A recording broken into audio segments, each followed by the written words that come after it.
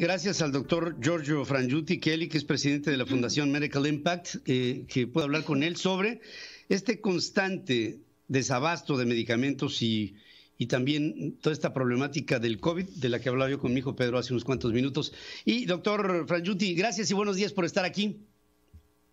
Muchísimas gracias por tenerme, este Pedro. Y, bueno, en primer lugar, eh, quiero, quiero pedirte, por favor, que me des un, desde Medical Impact, ¿qué es lo que, qué es lo que está pasando? Digo, yo no había vivido un momento así para México en el que el sistema de salud se viera tan, tan desprotegido, tan desposeído, tan desorganizado, tan, tan, bueno, este, los efectos que están teniendo son tremendos hacia una sociedad que se encuentra este, confundida porque, porque no tenemos un sistema de salud formal como tal hoy. Sí, creo que eh, para este país en particular hubieron eh, errores determinantes eh, que pudieron acelerar el contagio entre la población vulnerable, de entre ellos la instalación del modelo Centinela y evitar realizar pruebas y tamizajes abiertos a la población. De esto, continuar peleando la, apertura de hospitales temporales y luego cerrándolos y, no reubicando a los médicos que se encontraban en dichos hospitales temporales. Una vez eh, instaurado esto, eh, se, inician las elecciones o los periodos eh, democráticos y al, instaurarse estas actividades, el riesgo de contagio incrementó se combina eh, con la variante Delta, que tiene un R0 de 5 a 8, que es el doble de, contagio que puede eh, mantener una, eh, una persona al estar en contacto con otras personas. Entonces, siendo doble contagio y todos afuera, lamentablemente la combinación es lo que vemos ahora, un incremento de aproximadamente 40% de, incidencia en los casos de, COVID al, día. Y un incremento de esa naturaleza, eh, eh, ¿qué, tendencia tiene hacia adelante si es que se puede extrapolar? ¿Vamos hacia más contagio o eh, por la campaña de vacunación podríamos prever que el contagio se fuera hacia abajo?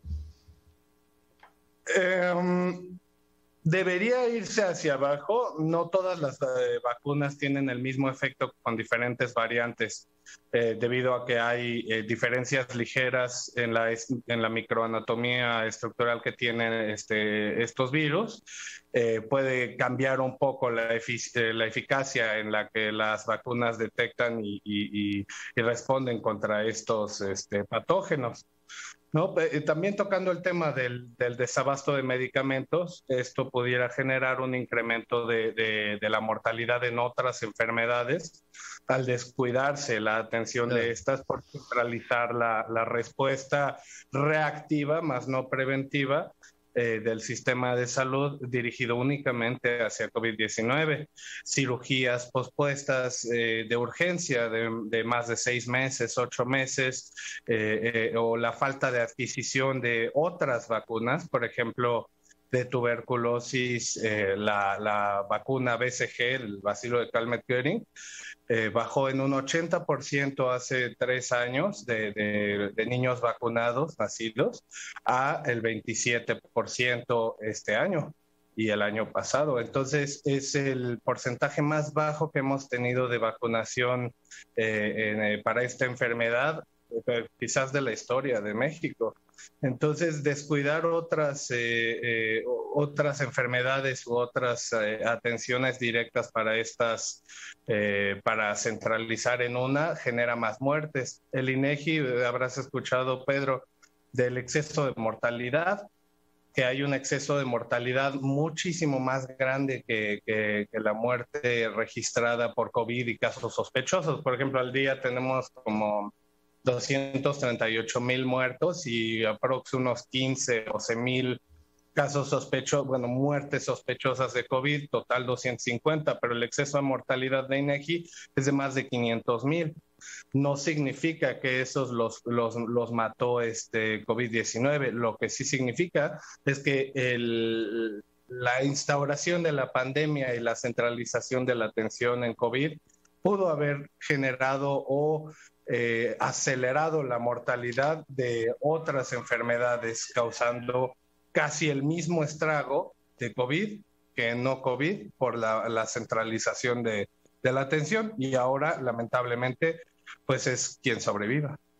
Claro, claro, sí, eso, eso eh, enfermedades crónico-degenerativas. La semana pasada estábamos dando una noticia sobre la, el, cortar contratos con empresas que daban hemodiálisis, por ejemplo, para personas que tienen, digamos, paralizados sus riñones, eh, con el costo que esto implica en el sector privado, de una no atención al sector público. En fin, la cadena es tremenda de consecuencias y en ello, pues, este, sigue habiendo un sistema opaco de compra, sigue habiendo una falta de suministro, sigue habiendo un, un, un equipo médico exhausto, exhausto, que, que desafortunadamente no, no, no está siendo ni siquiera protegido y, y, mucho de ese personal que había tenido la promesa de ser recontratado de repente a la calle. O sea, son miles de consecuencias las que trae todo esto que, pues este descontrol se convierte en un descontrol, perdón la palabra, Giorgio, pero es un descontrol criminal, porque esto repercute en personas que tienen nombre y apellido y que están muriendo por todas estas carencias y todos estos problemas que estamos viendo no solamente constantes, sino crecientes de una indolencia de un gobierno que no sabe responder a los principales problemas que el sector salud hoy está proponiendo como retos. Yo estaré muy, si tú me lo permites, muy al pendiente de los reportes que tu fundación, eh, esta Medical Impact, pueda traernos y, y estamos francamente muy preocupados por esta situación en México como nunca la habíamos visto en la historia de nuestro país. Y te agradezco muchísimo tu presencia aquí conmigo. Muchísimas gracias, Pedro. Estamos para servir. Muchas gracias también nosotros para servir a nuestro público. Lo que hemos visto es inédito, ¿eh? es tremendo.